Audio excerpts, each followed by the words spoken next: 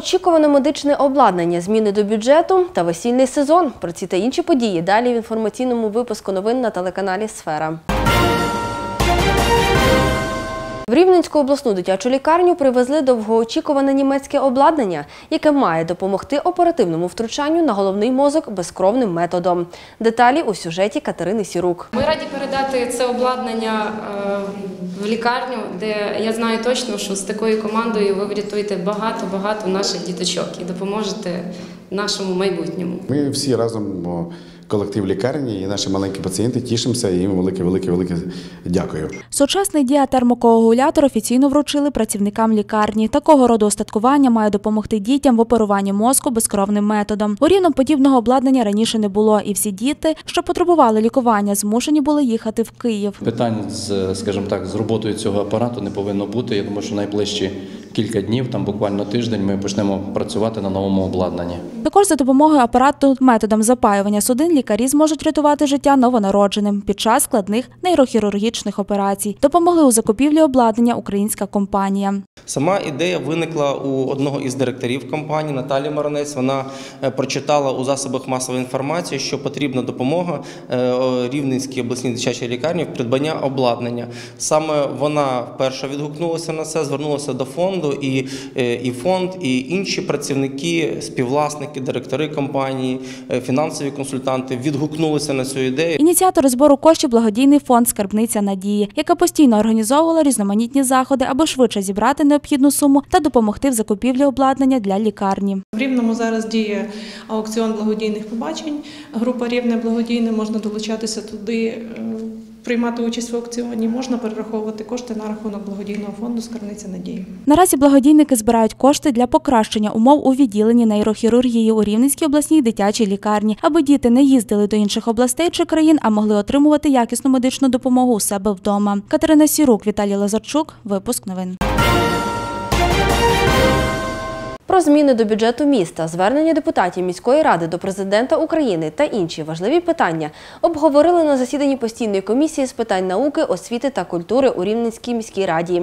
Які пропозиції погодили, а які категорично не прийняли, знає Діана Храбан. Дорога до електроніка та капітальні ремонти шкіл. Саме на ці об'єкти освітньої галузі планують виділити кошти. Постійна комісія Рівне ради розпочалася зі звіту про зміни до бюджету міста. На електронік. Дорога до електроніка 200 тисяч гривень е, поточний ремонт цієї дороги, бо там вже не можна їхати. Ніяк було доручення голови, включили і в тому числі і зміни до програми. І е, проведення капітальних ремонтів було в- включено два об'єкта: ЗОШ номер 19 і е, ЗОШ номер 23. ЗОШ номер 19 300 тисяч до попередньо виділених 300. І ЗОШ номер 23 900 тисяч гривень. Окрім того, депутати погодили бюджети і у інших сферах. Відтак на управління культури затвердили кошти на будівництво тротуарів, спортивних майданчиків та зовнішнього освітлення. Три е, об'єкти громадського е, бюджету біля Палацу дітей та молоді на загальну цифру 1 мільйон 994,9 тисячі гривень, якщо потрібно деталізувати. Це будівництво майданчиків та благоустрій території 288,8 тисячі гривень. Будівництво тротуарів з благоустроєм території на вулиці князя Володимира 557,3 тисячі гривень. Упродовж засідання одноголосно підтримали питання щодо змін в міській програмі забезпечення молоді житлом на 2015-2019 роки. В частині збільшення потенційного можливого збільшення фінансування до розміру 9 мільйонів. За рахунок цих коштів будуть фінансуватися молоді сім'ї віком до 35 років включно з метою забезпечення їх житлом. Також голова постійної комісії Віталій Павелків зачитав звернення депутатів міськради до президента України щодо припинення реформування мистецьких шкіл у Рівному. Діана Грабан, Віталій Лазарчук. Випуск новин. Ремені безпеки, необхідність чи вимушена міра. Україна посідає 10 місце у світі за кількістю ДТП. Рівненщина також не пасе задніх, на жаль, у цьому питанні. Що роблять у місті для того, аби зменшити кількість ДТП та як вмовити водіїв використовувати паски безпеки, дивіться у нашому сюжеті. Ремінь або Ростин таку інформаційну кампанію розпочали в Україні, адже кожного дня на дорогах країни гине близько 12 людей. Від непередбачуваних ситуацій на автомагістралях не застрахований ніхто. Тому навіть мінімальний захист, який є у кожному авто, ремені безпеки можуть врятувати життя. Це відомий рівненський політик Михайло Кирилов. Два дні тому у його житті трапилась неприємна подія. Його автомобіль став учасником дорожньо-транспортної пригоди, і саме завдяки тому, що скористався ременем безпеки, залишився живим. Я постійно користуюсь ременями безпеки. Я е, отримав таку звичку і завжди простягую ремень безпеки. І рекомендую це робити усім, тому що машини е, швидкісні, так. Е, Є ремені безпеки, є подушки безпеки, тому їми треба користуватися. Я раджу користуватися, тому що мені е, врятувало життя. Мені врятував життя Господь Бог та ремені безпеки. В Україні використання ременів безпеки передбачено законом і карається штрафом, але дуже часто водії цим правилом нехтують, адже нікого не лякає сума у 51 гривню. А поки у Верховній Раді ще думають над тим, чи збільшувати цю суму в десятеро, в Україні щорічно у автопригодах гине близько 3,5 тисяч осіб. У рівному ситуації з дорожньо-транспортними пригодами не краще. З початку року рівненські патрульні склали 865 адміністративних матеріалів за частиною 5 статті 127 КУПАП. Це порушення правил користування ременями безпеки або мотошоломами. Застосування ременя безпеки воно запобігає переміщенню пасажира по інерції і відповідно можливим його зіткненням з деталями самого інтер'єру транспортного засобу або іншими пасажирами. За статистикою, в Україні лише 15% водіїв користуються ременями безпеки, а в порівнянні у сусідній Чехії 97%. У Франції ця цифра становить 99%. І аби якось попереджувати випадки ДТП та смертності на дорогах, Рівненський центр громадського здоров'я проводить профілактичні заходи. В травні місяці у нас був такий проект по безпеці руху, де ми тісно співпрацювали з поліцією, е, де е, фактично всі гості міста, мешканці, діти було дуже багато, де можна наявним прикладом побачити наскільки важливо дотримуватися правил безпеки дорожнього руху. Для того, аби таких ситуацій на дорогах було якомога менше, потрібно з дитинства привчати дітей до безпечного руху. Як це до прикладу робить Михайло Кирилов. Ви знаєте, моїй дочці е, 14, вона з дитинства е, навчила, що ременями безпеки треба користуватися. І чи їде вона спереду, чи ззаду, перший її крок це пристягнути ременем безпеки. Тому, е, коли ми їздимо е, разом, е, я як тата не можу не працьовуватись. Тому е, я е, отримав таку звичку. Ми поцікавились у рівненських водіїв, наскільки сумлінно вони ставляться до свого життя та життя своїх пасажирів. В першу чергу, тому що я хвилююсь за себе, за своє здоров'я.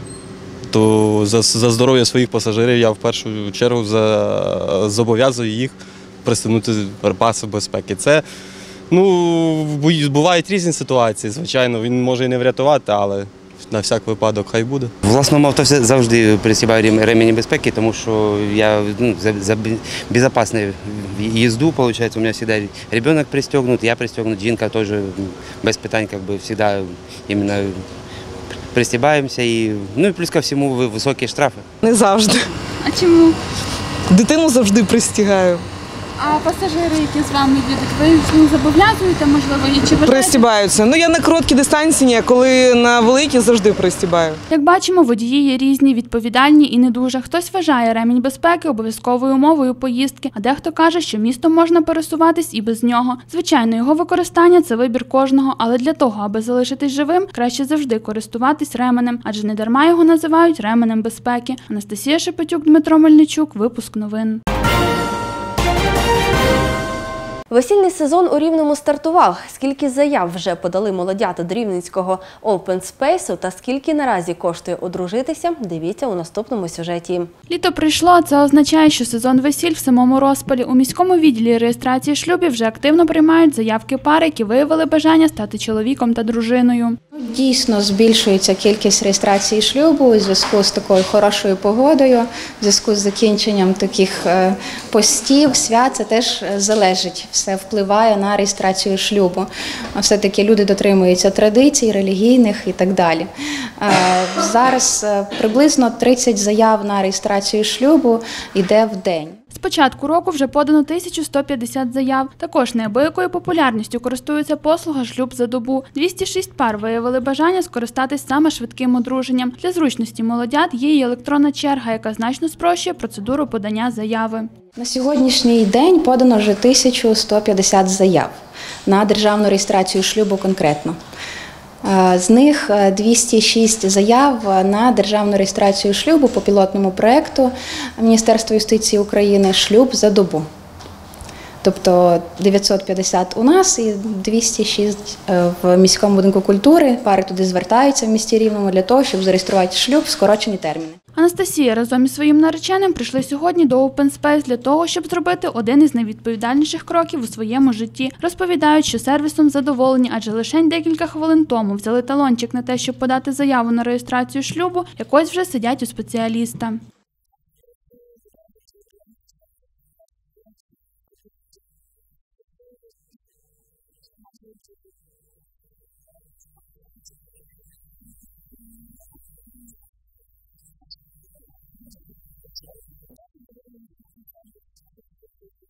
Одружитися всі бажаючі пари можуть у будь-який день, окрім понеділка. До слова, за останні два тижні вже 76 пар вирішили одружитися. Для порівняння у минулому році у цей самий проміжок часу було подано лише 66 заяв. Анастасія Шепетюк, Дмитро Мельничук. Випуск новин.